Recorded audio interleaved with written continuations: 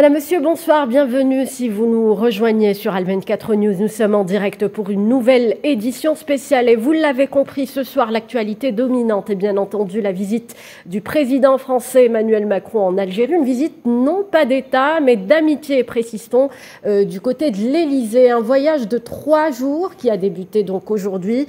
Nous allons aborder les enjeux de ce déplacement qui se veut pour les deux pays tournés vers l'avenir. On va en parler avec euh, nos invités euh, ce soir. Euh, euh, Larid bonsoir.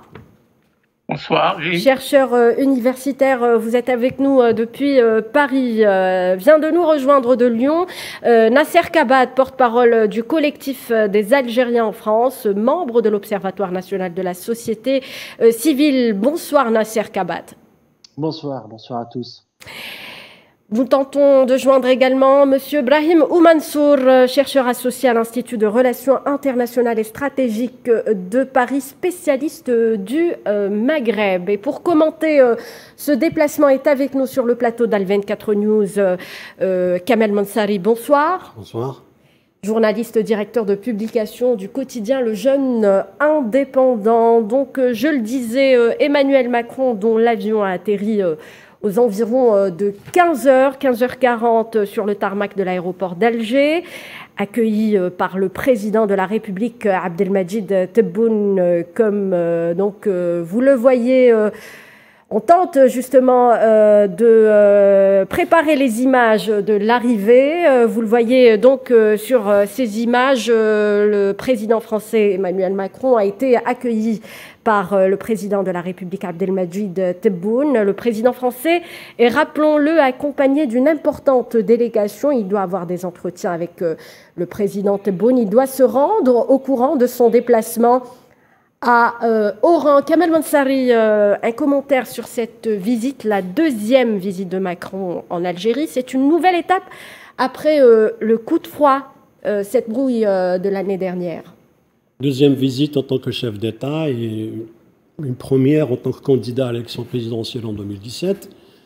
Euh, certes, cette visite intervient au moment où les relations euh, entre les deux pays sont en pleine crispation. Il y a eu des tensions euh, qui, ont, qui, ont, conduit pratiquement à un coup de froid qui a duré plusieurs mois, marqué par, d'abord, en raison des propos tenus par le président Macron euh, à l'égard de, la question de, mémoire en Algérie, à la question des autorités algériennes, notamment les régimes et les militaires, et en, raison du, euh, en même temps de, de décision des autorités françaises de réduire au maximum de 50% les visas délivrés aux Algériens sous prétexte qu'il y a des Algériens, que l'Algérie ne collabore pas et ne coopère pas en matière de reconduction des, des Algériens en situation régulière qui ont été, qui ont fait l'objet de de décision euh, de justice, de renvoi. Et bien évidemment, du côté algérien, l'Algérie avait rappelé son ambassadeur le temps dernier, et ce qui a, qui a, conduit à un froid qui aujourd'hui reste toujours d'actualité en dépit des tentatives. De part et d'autre, on parle d'une tentative de renouveau.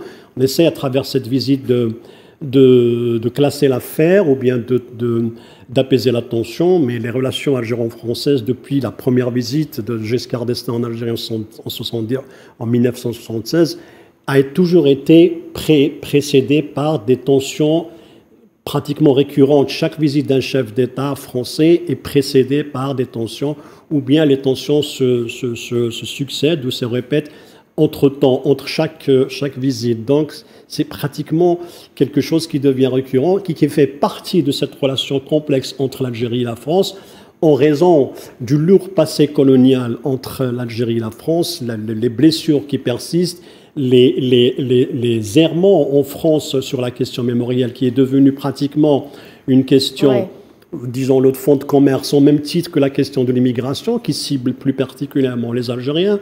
Donc en matière, globalement, entre cette visite intervient dans ce contexte-là, nous sentons même, euh, en dépit de cette visite, nous sentons que toujours l'atmosphère est lourde, il n'y a pas cette détente, on la sent pas.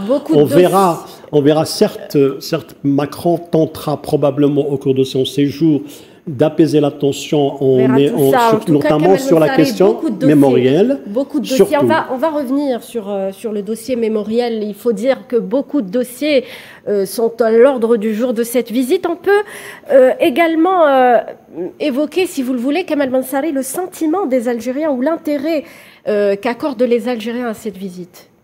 Vous savez, là, une visite d'un chef d'État français est toujours à la fois appréhender et à la fois en même temps appréhender sur, sur, le, plan, euh, sur le plan politique, bien évidemment, qu'elle va apporter, que va-t-elle apporter cette visite?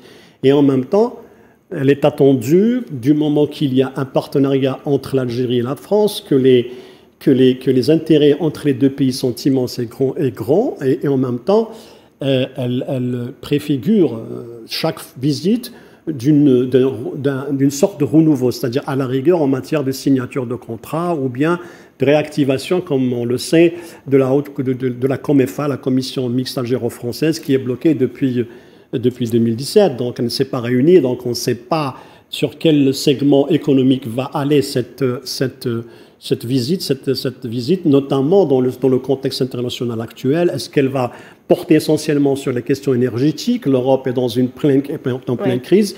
Elle a besoin de faire, elle a besoin de faire face, de réguler, régler cette question d'énergie qui, alors que l'hiver s'annonce. Euh, en même temps, euh, il y a aussi euh, cette, la question d'investissement. L'Algérie a la pendule loi attractive à travers laquelle elle essaie d'attirer davantage d'entreprises étrangères dans le marché algérien, notamment dans des, dans des segments qui sont productifs et non pas rentiers, c'est-à-dire pas aller simplement vers des, des, des, échanges commerciaux qui, qui, euh, qui font persister l'accord d'association contesté aujourd'hui et avec l'Union européenne, mais justement vers des segments et des investissements qui sont à la fois créateurs de richesses et d'emplois et en même temps euh, qui booste l'économie algérienne, surtout qu'on parle beaucoup de, de, start-up en Algérie. Donc oui, le volet, le volet économique, il faut le dire. On parle beaucoup de start-up, de, de l'ambition de, l'État de faire, faire actionner les start-up pour les faire pour les rendre le moteur de, de l'économie à venir. Et si c'est si la tendance, donc le besoin de savoir-faire étranger est très, très utile et très demandé, notamment dans, dans le domaine technologique où l'Algérie a besoin le plus d'être euh, proactive, être euh, efficace et agressive dans ce domaine qui, qui est vraiment euh, fait défaut en Algérie. Le volet économique revêt en effet une importance, donc une importance majeure. Je reviens un petit peu sur les attentes des Algériens de cette visite euh, d'Emmanuel Macron à Alger. Euh, euh, je me dirige justement vers Monsieur Nasser Kabat. Vous êtes porte-parole du collectif des Algériens en France, membre de l'Observatoire national de la société civile en temps. qu'Algériens établis en France, quelles sont précisément les attentes de la communauté algérienne à l'étranger de, ce déplacement d'Emmanuel Macron à Alger? Écoutez, je voudrais vous dire, euh, ce sont exactement les mêmes attentes que tous les citoyens algériens, c'est-à-dire on fait nation ensemble, et que c'est une attente finalement d'une politique cohérente, une politique de reconnaissance, une politique de projet aussi, parce que finalement, euh, comme euh, l'a bien dit votre invité sur le plateau, cette relation entre la France et l'Algérie, plutôt du côté de la France, c'est toujours du chaud, du froid, du froid, du chaud. On aimerait quand même, pouvoir voir enfin, j'oserais dire, une politique française responsable, euh, qui se grandit euh, de, pouvoir avoir finalement euh, à quelques, quelques heures, à une heure d'avion à peine de Marseille, un pays qui ouvre, qui s'ouvre sur l'Afrique avec des belles perspectives. Mais de ce fait, il faudra peut-être avant tout penser à commencer à pouvoir finalement pouvoir clore une fois pour toutes cette reconnaissance de, de ce drame qu'a vécu le peuple algérien depuis 1830. La conquête était violente, la colonisation était violente, la guerre d'indépendance était violente aussi pour les Algériens. Et de ce fait, je crois qu'aujourd'hui, le président Macron, qui est né après 62, doit dépacifier euh, cette relation, doit regarder en face. Euh, c'est pas le président Macron en soi qui, qui doit reconnaître, c'est la France qui doit reconnaître ce, ce, ce finalement ce, ces faits historiques qui sont euh, qui sont qui sont qui sont qui seront finalement pour la France faire grandir la France et la relation avec l'Algérie et d'une manière générale avec l'Afrique. Donc je crois que nous sommes dans une attente de construction positive. Je crois qu'aujourd'hui l'intérêt de l'Algérie grandit.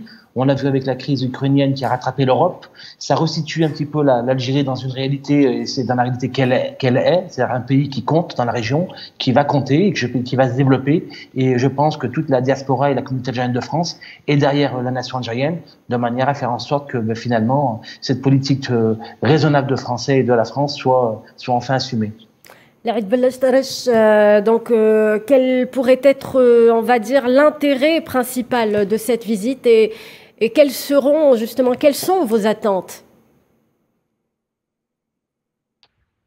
Bon, très bien. bonjour Rim, et bonjour à mes collègues et aux chères téléspectatrices et téléspectateurs. Cette visite est toujours très importante elle est à la mesure de l'histoire euh, qui unit les deux pays. Elle est à la grandeur de la mémoire. Elle est aussi à la mesure de la douleur, des douleurs vécues par notre peuple glorieux et victorieux, mais aussi dans toutes les relations, elles sont aussi nourries d'espoir. L'importance de cette euh, visite aujourd'hui, visite officielle et d'amitié, c'est aussi son importance est soulignée également par le fait que, au-dessus peut-être de l'intérêt économique, de l'intérêt politique, il y a un intérêt communautaire, un intérêt humain. Nous avons plus de 5 millions d'Algériennes et d'Algériens qui vivent en France. Et ces relations avec leur pays, qui est l'Algérie, c'est une relation de sang, c'est une relation de chair. Et donc, cette relation-là, c'est une relation très sensible et très particulière et c'est, elle est à tout égard grande et, à tout et comme toutes les grandes relations, elle est sensible et elle doit être entretenue comme toutes les relations de grande importance. Cette, euh, visite vient également dans le temps où le monde vit une guerre au cœur de l'Europe, ce qui est très nouveau depuis la Deuxième Guerre mondiale. Elle intervient dans un cadre où il y a une crise d'énergie également au sud de l'Algérie, au Mali, où il y a des crises dans tous les sens. Et dans, dans ce cadre-là, il me semble que cette relation est plus que jamais importante et qu'elle invite à la sagesse, au débat et à mettre au devant l'intérêt suprême des deux pays, un intérêt équitable. Parce que je veux vous dire une chose, c'est les relations, euh, les relations, c'est la coopération entre l'Algérie et la France, elle a été toujours secouée par euh, des moments, des moments d'incertitude, c'est parce qu'il n'y a pas une coopération économique de fond. S'il y avait par exemple une coopération dans le domaine agricole, une grande coopération qui rendrait vers le sud algérien, alors que la France produit chaque année 40 millions de tonnes de, de céréales et c'est un grand producteur mondial de lait, s'il y avait une relation fondée sur l'économie, sur de grands projets économiques et également le produit de l'énergie. Power Energy Link, dans un rapport publié le 15 juin 2022, très récent, il dit que l'énergie solaire en Algérie est digne de euh, d'éclairer les cinq continents du monde.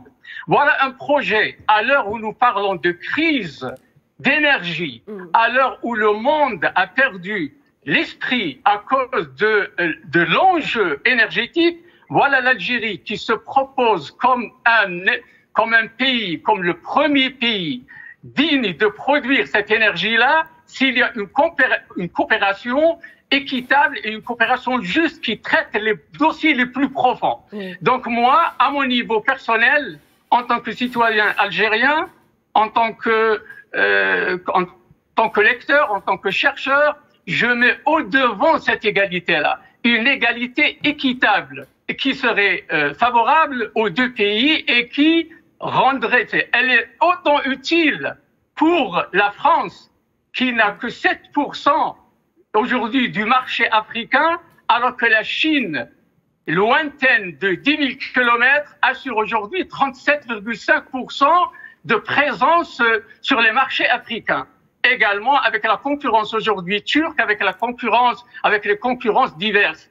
Donc, voyez, avec la concurrence de la Russie également. Et donc, chaque pays, la France est également à la recherche du temps perdu. sur le plan économique, sur, le plan, sur les plans sécuritaires. Nous pouvons en parler plus tard. On va, on, va, on va y revenir, Monsieur Laïd Il faut dire que cette visite intervient, vous l'avez dit, dans un contexte euh, nouveau euh, et peut apporter euh, donc et peut être bénéfique pour les deux pays. pour en savoir plus, Brahim Oumansour vient de nous rejoindre. Bonsoir, Monsieur Oumansour. Bonsoir. Vous êtes chercheur associé à l'Institut des relations internationales et stratégiques de Paris, spécialiste du Maghreb. Votre commentaire sur cette, euh, ce deuxième déplacement euh, d'Emmanuel Macron en Algérie? D'abord, merci pour l'invitation. D'abord, cette, euh, oui, c'est vrai que cette visite s'inscrit dans le contexte qui a été rappelé.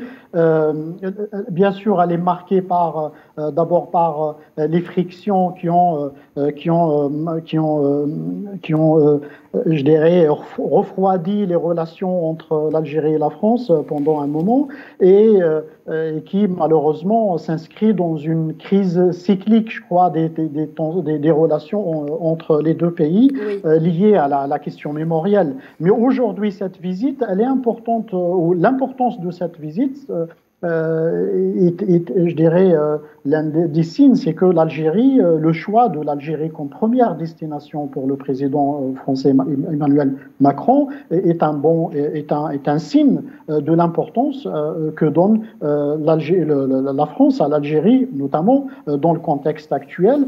Bien sûr, il y a, il y a, il y a les relations entre les deux pays, quelles que soient, malgré les, tensions, les périodes de tension qu'on connaît, euh, elles restent quand même assez bonnes. Euh, je, rappelle, je rappelle que euh, l'Algérie, deuxième partenaire commercial de, l'Algérie, la France est deuxième euh, pardon, euh, la France est deuxième partenaire euh, de l'Algérie après la Chine. même si, bien sûr, ce que on regrette, c'est que ça vient d'être cité, il y a une, il y a une inégalité en termes d'échanges côté côté les exportations algériennes vers la France, elles sont à 90% voire plus liées aux hydrocarbures. Donc, ce qui révèle un peu l'absence de d'investissement réel euh, sur place en Algérie. Bien sûr, c'est pas lié direct qu'à la France, mais euh, plus globalement, il y a un manque d'investisseurs français en Algérie, ce que recherche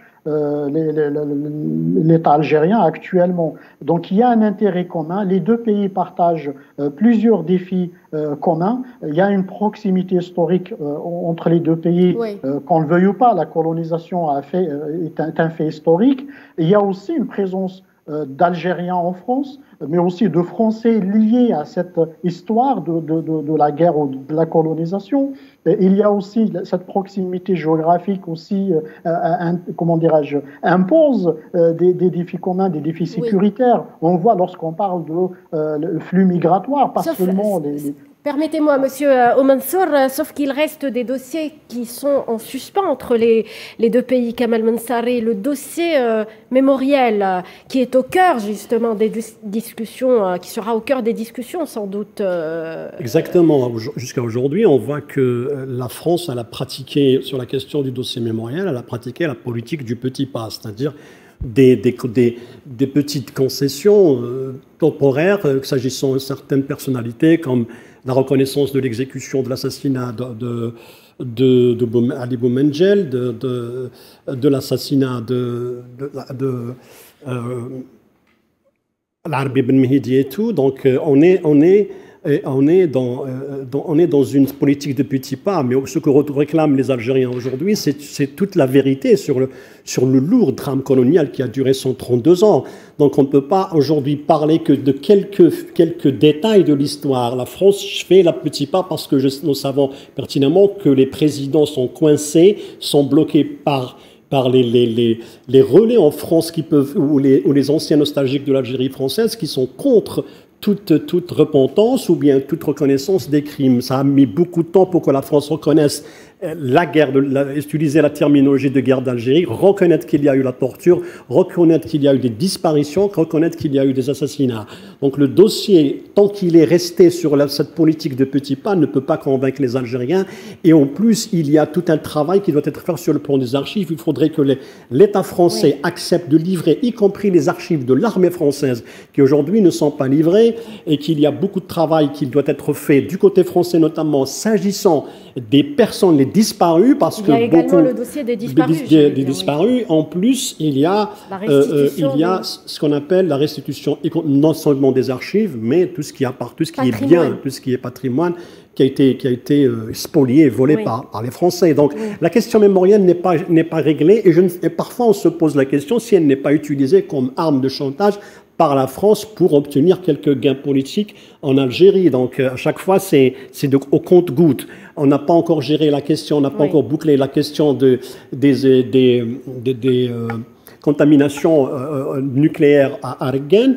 Toujours est-il que ce dossier reste, on ne reconnaît pas la victime algérienne, mais on a reconnu la victime française, alors que les victimes algériennes, c'est palpable. Il y a eu des enquêtes qui ont démontré que des Algériens ont euh, subi ces tests-là, on sont tombés malades et même victimes et même morts. Et les séquelles sont aujourd'hui, que ce soit sur la nature ou bien sur l'humain en lui-même, c'est-à-dire dans, dans, la région du Sahara presque entière surtout. Et, on parle même de, qu'il y a eu des, tests chimiques dans la région de Colonne Bachar que l'armée française ne, veut pas, reconnaître, ni au moins livrer les, archives qui démontrent qu'il y a bien eu ce genre d'exercice ou, de, de, de, tests dans la région de Colombe Bachar et en plus de ce qui s'est produit à Argan.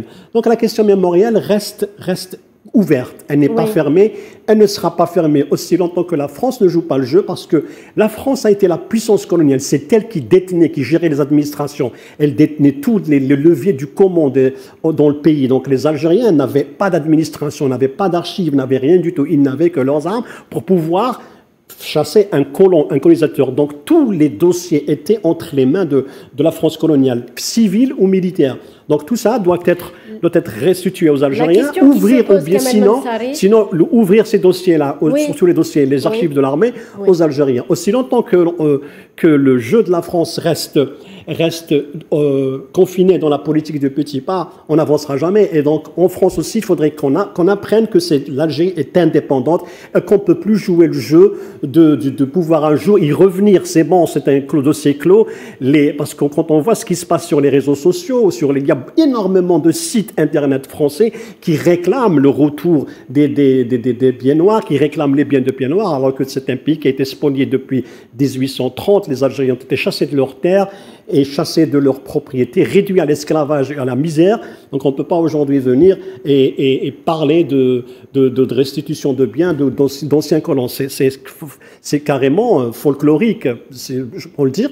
Donc la question de, la mémoire reste ouverte, elle n'est pas, elle pas fermée. Elle doit, elle doit continuer à être l'un des dossiers essentiels Permettez-moi de vous interrompre. Euh, donc, euh, on peut s'interroger jusqu'à quand ce dossier mémoriel euh, peut rester euh, ouvert. Euh, la France peut se vanter d'avoir fait des gestes envers l'Algérie concernant ce dossier, mais les attentes de l'Algérie s'avèrent plus importantes.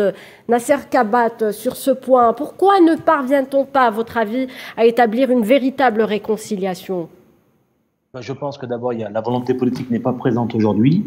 Comme l'a bien dit votre amitié, vous avez en France toute toutes, des lobbies larvés, euh, larvés euh, de nostalgie d'une Algérie française qui sont toujours en train de travailler. Et c'est là que je dis que finalement, euh, avec, avec, avec pleine de conscience, que les Algériens de France doivent jouer leur rôle et pleinement leur rôle sur, sur, le, sur, le, sur le lobby algérien de façon à faire avancer les choses. Parce que je pense que tout passe par la, je pense que tout passe par la volonté politique et qu'aujourd'hui, plus que jamais, la diaspora algérienne qui, qui est une diaspora qui, sur le point de vue sociologique, euh, est très importante et est de plus en plus importante. Elle est, euh, elle s'organise encore constituée. Je pense que nous avons matière, nous, à devoir euh, impulser sur le point de vue politique euh, des pressions, des tensions, de manière à ce que, ce que, de manière à ce que bah, les, les, nostalgiques et, les lobbies qui travaillent pour pour maintenir un peu ce chaos, et eh ben puissent puissent disparaître à jamais, parce que je crois que l'avenir appartient au dialogue L'avenir appartient à la construction commune. L'avenir appartient à, cette, à cette Afrique qui va se développer et qui se développera dans tous les cas de figure. Et si aujourd'hui la France euh, est pleinement consciente de cette réalité, eh ben c'est aujourd'hui que, que le président Macron doit jouer, doit jouer pour les 50 prochaines années. Laïd Bellatrèche, sur ce point, sur le dossier mémoriel, à votre avis, à quand une, une réconciliation? Oui, euh, à mon sens, euh, la question mémorielle est, est, très importante. Si les avenirs sont incertains, à plus d'un égard, eh bien la mémoire, elle est, acquise et elle est bien présente. Et donc, on doit la traiter. Et je pense que si on ne peut pas euh, traiter de, de façon équitable la question de la mémoire, on ne peut pas construire un avenir avec des variantes et avec des incertitudes et avec des inconnus. Si on n'est pas à la hauteur politique et à la hauteur du courage politique pour ne pas regarder cette mémoire-là et la traiter et en tenir les conclusions et dire ce qu'il faut dire. Notre peuple a été martyrisé, notre peuple a subi le napalm, au point où, au temps où on utilisait le napalm, les pilotes disaient on utilisait les bidons spéciaux. Ils ne voulaient pas évoquer le mot napalm, tellement à l'époque ils savaient qu'il était interdit et que c'était une arme interdite et qu'on ne devait pas s'en servir. Mmh. Déjà à l'époque de l'usage, à l'instant de l'usage. Ce que je voudrais dire alors, c'est qu'aujourd'hui, euh, la question des archives, dans la sagesse, dans la sagesse et dans la réflexion, et dans l'objectivité et dans la responsabilité et la conscience, traiter ce dossier-là avec courage, en associant les chercheurs, en associant les acteurs, en associant ceux qui ont participé et qui ont aujourd'hui le remords, et ils sont nombreux en France également, et en traitant de la question de la mémoire, ce n'est pas que rendre hommage au peuple algérien. Le peuple algérien est sorti victorieux et ce n'est pas une phrase protocolaire qui va lui penser les douleurs. Mais ceci va profiter pour l'avenir et ceci va profiter aussi et surtout pour la France également pour que son action soit conforme à ses idées comme pays où, qu'on le veuille ou pas, sont les droits de l'homme et beaucoup de valeurs humaines. Et donc, ce geste-là, ce traitement de la mémoire, ce traitement équitable, rendrait hommage et reconnaît la grandeur du peuple algérien et ses souffrances, mais également il remettrait de l'ordre dans, dans l'ordre et il donnerait sens au discours d'aujourd'hui pour qu'il soit conforme au passé. Et en le traitant de la question de la mémoire, ceci va ouvrir grandes les portes de la coopération, comme je venais de dire, entre l'Algérie et la France. Il y a énormément de sujets, il y a énormément de domaines où la coopération est très très possible et elle sera porteuse de beaucoup de fruits si toutefois cette question soit résolue. On va prendre l'avis de Brahimo Mansour justement sur la question mémorielle euh, qui continue à, freiner euh, une coopération efficiente entre les deux pays, euh, Brahimo Mansour. Oui, tout à fait. Il faut, il faut, il faut à, un moment donné régler la question mémorielle pour dépassionner les relations entre les deux pays et partir sur des bases, sur, sur des relations fondées euh, sur un intérêt, le respect mutuel, un intérêt mutuel euh, des deux États. Et il y, a, il y a, du côté algérien la demande, euh, la, la, la, la, demande, elle est légitime. Il y a un devoir de, de vérité euh, par, rapport à l'histoire coloniale. Euh, donc on ne revient pas sur, les, crimes commis euh, depuis le début de la colonisation. Et, donc c'est un devoir de la part de la France. Il y a un devoir de vérité. il est vrai que pour un dirigeant français, euh, la, question euh, est très délicate. Euh, notamment, il y a, on sent quand même que qu'en France, hein, l'opinion l'opinion française n'est pas très très je dirais très prête à, assumer ou à accepter des excuses ou et donc il y a bien sûr il y a des, lobbies d'extrême droite, il y a il y a une logique électoraliste aussi qui qui s'immisce dans la politique. Donc dans les relations française avec l'Algérie, la, la, politique étrangère intervient aussi dans la politique intérieure. On le voit pendant les campagnes électorales. L'Algérie est toujours, est toujours évoquée dans les campagnes électorales, y compris sur des questions internes donc, à la France. Et donc, régler cette question, bien sûr, elle est, elle est primordiale pour avancer, pour, promouvoir une meilleure euh, coopération entre les deux pays. Sur ce point, Kamal Mansari, la question de la repentance est-elle toujours d'actualité en Algérie? Vous savez, hein, la question ne, brasse pas euh, une sorte de consensus en Algérie. Beaucoup d'Algériens refusent la repentance de la France, encore plus les excuses, parce que le colonialisme est inexcusable, c'est la matrice de tous les crimes. Donc on ne peut pas, lorsqu'il y a un crime contre l'humanité, vous massacrez un peuple, il disparaît, c'est bon, mais confiner, maintenir un, peuple en un état d'esclavage pendant 132 ans, c'est quelque chose qui est inexpugnable et, impardonnable. Donc on ne peut pas, même si la France se repent, l'Algérien, les Algériens en général refusent cette repentance et ces excuses parce qu'on ne peut pas, on peut pas euh, euh, comment dire, euh, on ne peut pas recréer une période, on ne peut pas la remplacer, on peut pas, ça, ça, ne se, ça se compense pas, ni par, des, ni par les moyens financiers, ni par autre, autre moyen. Donc la repentance, qu'elle soit faite ou pas, donc qu'est-ce qu'elle apporte aux Algériens n'apporte rien, puisque 132 ans de colonialisme, comme, vous, euh, comme on, sait que, on sait que lors du procès de Nuremberg en 1946, on a fixé les crimes de guerre et les crimes d'humanité. On les a fixés, les crimes de masse. Mais le colonialisme n'a pas été défini. Quelle, quelle, quelle, quelle sanction accorde-t-on, inflige-t-on un, un, colonialisme? Ça n'existe pas. Donc le colonialisme, c'est le, crime des crimes. On peut pas, il n'y a pas de repentance ni d'excuse pour ce genre de crime.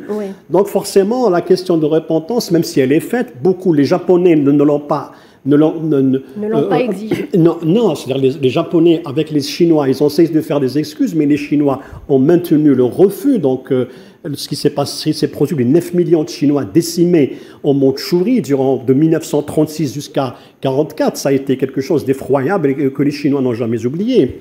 Donc, forcément, donc la question, il faudrait certes accepter l'histoire, accepter le sang passé et ne pas en faire une sorte de marchandage ou d'insulte ou d'agression permanente contre l'Algérie.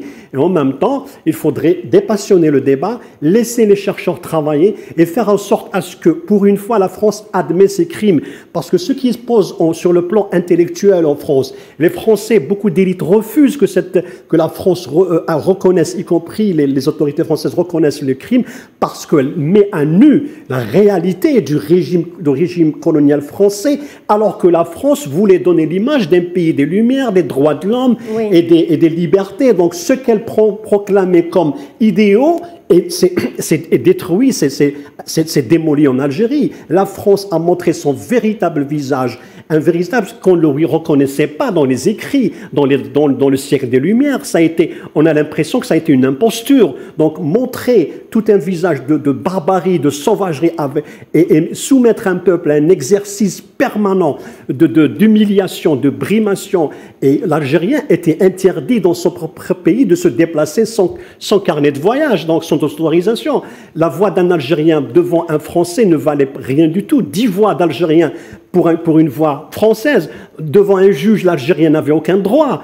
Donc c'était ça, c'était cette image-là que la France refuse, qu'elle veut mettre sous le tapis pour ne, pas, pour ne pas prendre la responsabilité et faire face à son passé odieux, à son passé horrible, qui remet en cause, qui, démolit toute cette image d'un pays qui a toujours véhiculé les droits de l'homme, le respect d'autrui et, les valeurs humanitaires. Donc c'est ça que la France refuse de reconnaître parce qu'elle remet en cause. Si elle le reconnaît, on, saura que la France euh, admettra qu'elle a été un qu'elle a été, euh, qu'elle avait deux, un double discours. D'un côté, celui des droits de l'homme, d'un côté, et de l'autre, un, comportement sauvage et barbare envers des peuples euh, qu'elle a soumis par le fer et le glaive. Alors, euh, on va, pour avancer justement dans le débat, j'aimerais vous faire réagir sur les dossiers qui seront sur la table entre les deux pays. Et j'aimerais m'intéresser justement sur cette question des visas, sur euh, la, question des euh, laissés-passer euh, consulaires. Est-ce que vous pensez que la France pourrait, Kamal Mansari, faire un geste dans ce sens? Non, c'est pas.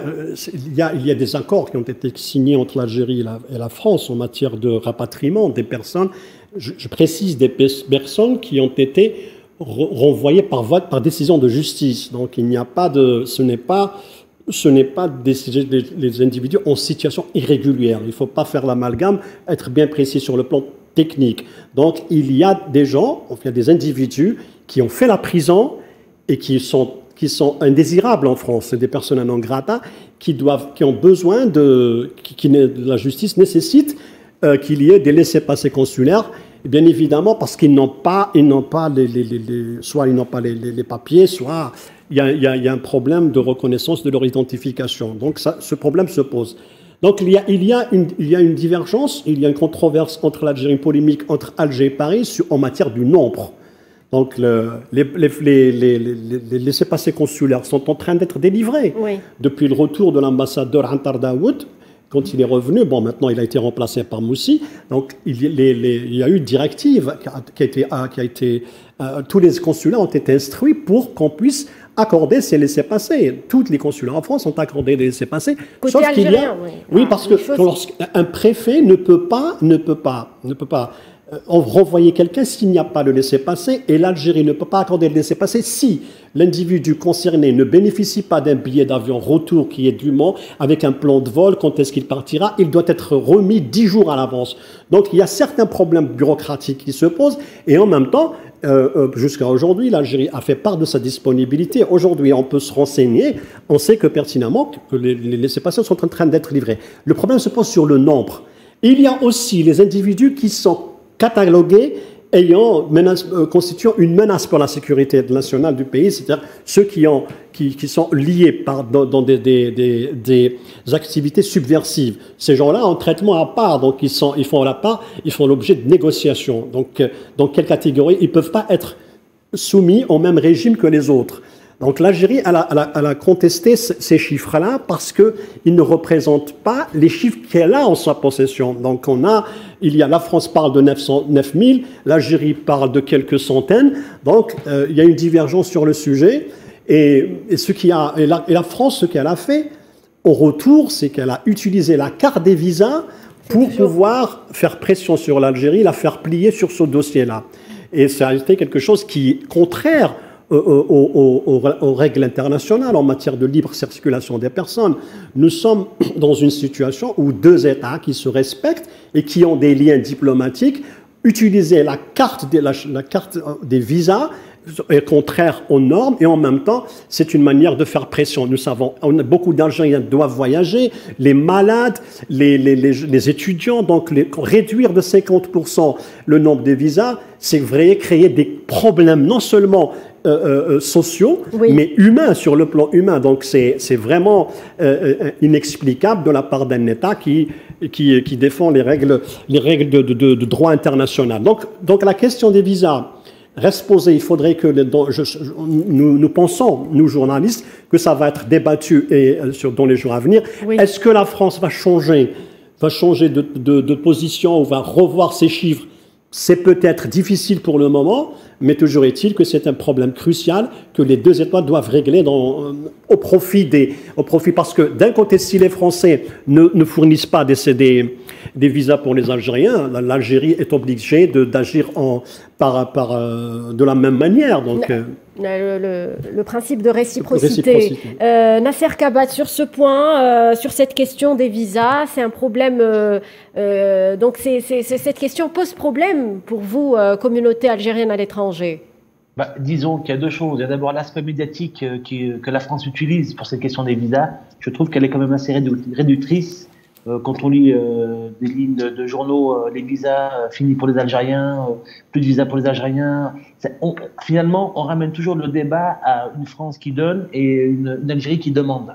Donc je crois que, comme l'a dit votre invité, effectivement, il faut, il faut que les règles, les règles de relations internationales soient appliquées et respectées surtout, et que, et que finalement on s'aperçoit que la France joue des, joue des cartes sur lesquelles joue sur des sur, des leviers euh, sur lesquels bah, c'est pas très bon de jouer quoi je veux dire et en même temps elle, est perdante au change de, de, de, procéder de la sorte parce que finalement elle touche aussi les Algériens qui vivent ici les familles euh, les, ces étudiantes qui viennent pour pour, pour, pour étudier en France et finalement, c'est, euh, c'est de, je, voudrais dire, ce débat de, de petite guerre finalement. Je crois que la France doit rester dans, sa, dans sa nature, c'est-à-dire cette France qui, qui ouvre son territoire, qui, qui ouvre son espace, qui, socialement parlant, humainement parlant, a des valeurs. Et à partir de là, je crois que, je crois que les tensions qui, qui, se, qui se jouent entre la France et l'Algérie ne doivent pas aller s'articuler sur le nombre de visas octroyés ou sur, sur le nombre de, de personnes à ramener aux frontières parce qu'ils sont non gratins.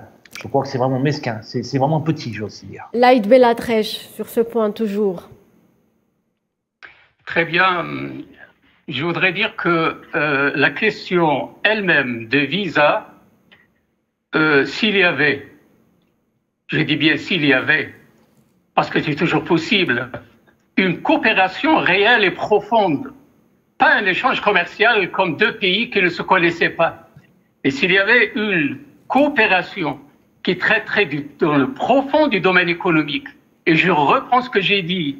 C'est tellement une conviction dans le domaine agricole qui préoccupe l'Algérie, évidemment, dans le domaine agricole, dans le, domaine laitier et également dans le domaine de l'énergie.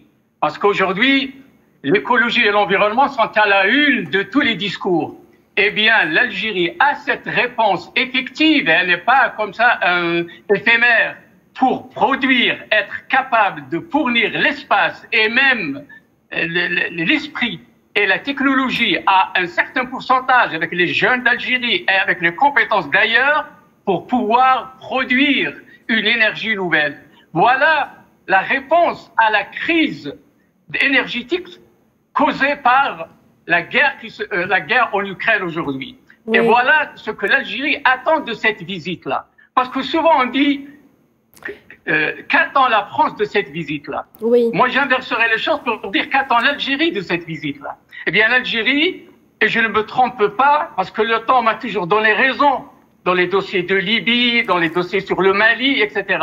Et ces deux dossiers-là, quand il y aura une coopération réelle, quand il y aura un grand échange entre deux pays, dont la proximité géographique est déjà acquise, à ce moment-là, les échanges se multiplieraient et cette question de visa sera décomplexée et elle sera elle-même, comme disaient mes confrères, que je salue encore une fois, dépassionnée. Voilà, ça c'est d'un côté. Et puis après, l'Algérie, de cette visite-là, elle a montré au monde qu'elle est digne et capable et qu'elle est candidate à une coopération à la hauteur de sa grandeur. Pourquoi? Voyons ce qui se passe aujourd'hui au Mali, parce qu'on doit en parler aussi du Sud. Justement, justement vous tendez la perche, Monsieur Larid Bellatrache. On va justement parler du contexte géopolitique qui règne, euh, donc euh, dans lequel intervient cette visite euh, du président français Emmanuel Macron. Brahim Omansor, vous qui suivez justement la situation, il y a donc le, cette visite intervient dans un contexte où, où les choses ont changé. Il y a le conflit ukrainien, euh, la pénurie euh, du pétrole et, du gaz qui pèse sur la France, euh, l'enjeu énergétique est, très important. En effet, l'enjeu énergétique est important, d'autant que l'Union européenne, qui, depuis les sanctions, depuis le début de la guerre en Ukraine et les sanctions imposées contre la Russie, se trouve dans une situation de devoir chercher une alternative au gaz russe. Et l'Algérie, bien sûr, qui est un grand producteur de, gaz au monde, euh, est, très courtisée par, l'Europe. Et aujourd'hui, la France, cette visite, bien sûr, euh, je rappelle que l'Europe, euh, la France, pardon, préside l'Union européenne, donc elle porte aussi, Emmanuel Macron porte aussi cette responsabilité de convaincre D'ailleurs, il y a beaucoup d'attentes des partenaires européens de, la France que Emmanuel Macron euh, puisse convaincre euh, l'Algérie d'augmenter euh, sa production et, l'approvisionnement de gaz vers, le, vers la France. Et il y a aussi, bien sûr, c'est une question qui va demander du temps parce que euh, augmenter la production nécessitera des infrastructures et, et, des, des, investissements colossaux. Mais je rappelle aussi que cette question, cet enjeu gazier est aussi lié au contexte régional. Donc la, la, la, France aussi va devoir aussi euh, euh, jouer euh, les médiateurs ou convaincre aussi ou appeler, un apaisement peut-être, notamment avec l'Espagne, parce que je rappelle, on a l'Algérie, l'Algérie euh, fournit euh, l'Europe en gaz à travers deux gazoducs majeurs aujourd'hui, le, Transmed via l'Italie, et qui se porte bien parce que les relations entre les deux pays, entre Rome et Alger, sont, sont très bonnes. Hein. cette année, on a vu la, signature de plusieurs contrats euh, notamment dans le domaine énergétique, mais pas seulement. Il reste donc le côté espagnol avec euh, le, le euh, qui, traverse l'Espagne. Et surtout l'Espagne pour l'Europe est importante car elle détient le plus grand réseau de, de, gazoducs et qui est et qui devrait être lié avec avec un, réseau gazoduc franco-espagnol, euh, donc le, le, MIT, le, le, MITCAT, et qui, euh, dont euh, Bruxelles aujourd'hui ambitionne à redynamiser, parce que c'est un, projet qui date, euh, que, l'Europe aujourd'hui cherche à redynamiser, à moderniser pour pouvoir euh, recevoir plus de, euh, de, gaz. Et il y a peut-être, on peut rajouter aussi le contexte régional plus global, le Mali. La France a besoin aussi de l'Algérie. J'ai envie de dire, l'Algérie a besoin aussi, de, bien sûr, de la France. La France qui est une puissance, membre du Conseil euh, de sécurité, permanent du Conseil de sécurité de l'ONU, mais la France a aussi besoin de l'Algérie au moment où la France perd de l'influence en Afrique. L'Algérie est un acteur régional important. on, voit dans sur le dossier euh, euh, malien, d'ailleurs on l'avait cité auparavant, l'erreur de la France est de ne pas avoir euh, ne pas avoir su s'appuyer sur l'Algérie sur ce dossier, et que l'Algérie qui préside, qui a qui est chef de file du dialogue intermalien, mais aussi préside le comité de, suivi de, l'accord de 2015, appelé accord d'Alger, signé entre les, les, les, les, antagonistes libyens, euh, pardon, euh, maliens, euh, donc sous l'égide d'Alger, avec la médiation algérienne. Donc tout ça, il y a des enjeux. L'Algérie est, est, géographiquement le premier, le plus grand pays d'Afrique, du pourtour méditerranéen. Donc une coopération poussée entre l'Algérie et la France ne sera que bénéfique pour les deux pays. Je rappelle aussi toutes les entreprises, l'erreur européenne, mais particulièrement française, c'est d'avoir laissé pendant plusieurs années des entreprises françaises partir de se délocaliser en Chine pour en, en quête de, main d'œuvre de moindre prix, moins cher, alors qu'on a oublié des, partenaires voisins, donc l'Algérie qui est à deux heures de vol, euh, à une heure de vol depuis, depuis euh, les frontières, donc depuis la Méditerranée. Et aujourd'hui, il y a nécessité avec la montée des prix du gaz, donc la montée, la montée du transport du fret de la marchandise depuis la Chine. Aujourd'hui, un conteneur qui compterait entre 16 000 et 17 000 euros. Certains industriels se plaignent du fait que le fret coûterait, un conteneur coûterait euh, dans le transport beaucoup plus, euh, cher que la marchandise elle-même. Alors que un pays comme l'Algérie qui pourrait accueillir euh, des entreprises françaises dont à la fois français mais aussi franco-algériens peuvent investir dans un pays qui est aussi le leur et qui est très proche culturellement de, de la population à la fois française mais aussi franco-algérienne en particulier et qui peut redynamiser euh, l'économie algérienne, créer de l'emploi et euh, réduire le, chômage mais aussi réduire les candidats à l'immigration dont se plaignent parfois de façon exagérée euh, ici certains politiques français. donc tout, tout est bénéfice pour les deux pays. Tout est imbriqué également. Voilà, une coopération euh, plus globale, euh, plus, euh, plus, je dirais, plus intelligente des deux. Kamal Mansari, l'Algérie est-elle prête d'accepter cette requête de la France d'augmenter son approvisionnement en gaz dans le contexte actuel, le contexte géopolitique régional actuel? Et j'ai envie de vous poser également cette question. Quelle coopération à venir euh, dans les dossiers du Mali euh, euh, et du Sahara occidental également. S'agissant de, la question énergétique, bon, l'Algérie est le deuxième fournisseur. enfin, la France est la deuxième client de l'Algérie en, matière de produits hydrocarbures. Ça, ça représente 13,3% des, des, approvisionnements en énergie qui vont à l'Europe, derrière l'Italie 14,7, l'Espagne 10%. Bon, nous avons aussi la Chine avec 5%. Donc actuellement, il, y a, il faudrait, il faudrait euh, replacer, replacer le contexte de la visite et la question énergétique qui se pose actuellement en Europe. Il faudrait la, question de l'Ukraine et, la crise énergétique, elle a, divisé, elle a ah. divisé les Européens en matière de solutions. L'hiver s'approche. Aujourd'hui, on parle d'un pipeline qui devrait partir de, du Portugal jusqu'à jusqu'à jusqu'à jusqu'en Italie pour pouvoir pour pouvoir euh, alimenter alimenter euh, alimenter les Européens en gaz en provenance, euh, donc l'Espagne qui sera chargée de, trouver les approvisionnements, on ne sait pas d'où.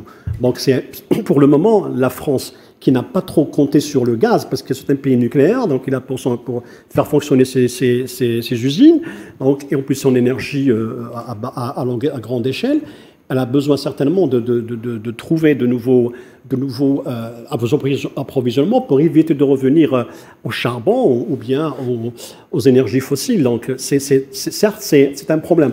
Mais il est fort probable, on ne sait pas, peut-être que ça va être discuté. L'Algérie avait proposé auparavant, c'était en 2007, en 2007 et en 2008, de créer, de, construire un pipeline qui va d'Espagne vers la France.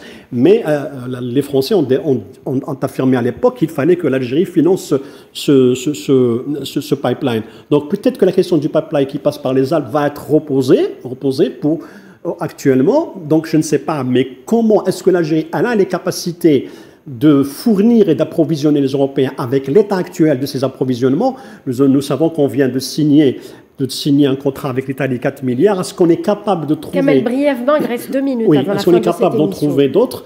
Euh, ça, reste à discuter, on n'en sait pas. Donc c'est vrai qu'il y a des, des découvertes, mais plutôt euh, sur, le pétrole que sur le gaz. Donc la question du gaz va être vraiment un grand problème pour les Européens. Est-ce que l'Algérie sera la bouée de sauvetage? Elle a déjà sauvé l'Italie, mais pour la France, ça va être peut-être difficile. Euh, merci euh, en tout cas Kamal Mansari pour cet éclairage. Je remercie tous mes invités d'avoir participé à cette émission. Nasser Rabat qui est porte-parole du comité des Français, pardon, des Algériens en France Merci euh, d'avoir participé à notre émission. Laïd Bellatra, chercheur universitaire, était également avec nous depuis Paris. Euh, Brahim Mansour, chercheur associé à l'Institut de Relations internationales et stratégiques de Paris, était également notre invité. Euh, merci à vous de nous avoir suivis. Restez sur Al24 News. Très bonne soirée.